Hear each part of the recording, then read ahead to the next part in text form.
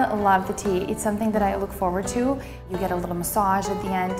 They fill in your eyebrows. It's a great and relaxing experience and they do a great job. I come to Blink Brow Bar to get my eyebrows threaded. The whole service takes about 15-20 minutes. I get them done here because the, the girls do an amazing job. It's a painless technique, they're precise, and I get the results that I'm looking for every time. Today, I decided to get a eyelash lift and tint. It's basically like a permanent solution to have your eyelashes as though you used an eyelash curler, so less I have to do the better. And then I have very light eyelashes, so they darken them. So it looks like I'm wearing mascara and makeup when I'm not. Yeah, I know that I get really excited when my appointment is coming up because I'm like, okay, I'm gonna get my perfect brows again.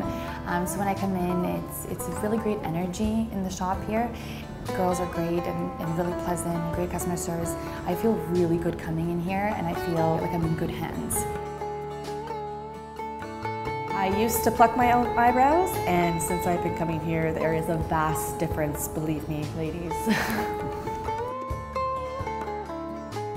People are always asking me, where do you get your eyebrows done? And I swear by Blink Brow Bar. Here at Blink, all of my girls, they have to do my eyebrows before they can touch clients. So if I'm happy with it, so then they're working at Blink.